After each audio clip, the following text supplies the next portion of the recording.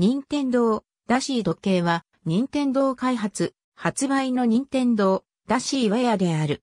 2021年7月現在、3種類の任天堂ダシー時計が配信されている。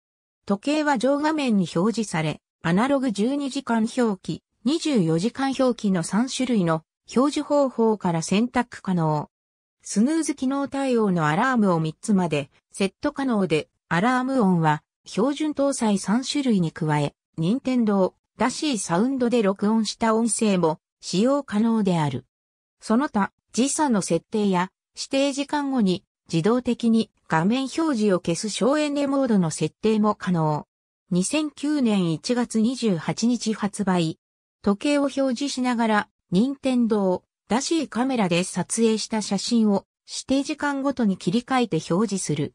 2009年4月1日発売。スーパーマリオブラザーズをモチーフにした時計ソフト。上画面にマリオとルイージがコース上でどんどん移動して進んでいき、自動で進んでいるマリオとルイージは A ボタンでジャンプして B ボタンを押し続けるとダッシュする。コース上に散らばっているコインを集めていくといろんなことが起こる。コインを100枚集めるとマリオとルイージが交互に交代していく。1回の起動で1200枚獲得するとエンディング。コースは時間が経つたびに変化していく。2009年4月1日発売。動物の森シリーズをモチーフにした時計ソフト。ありがとうございます。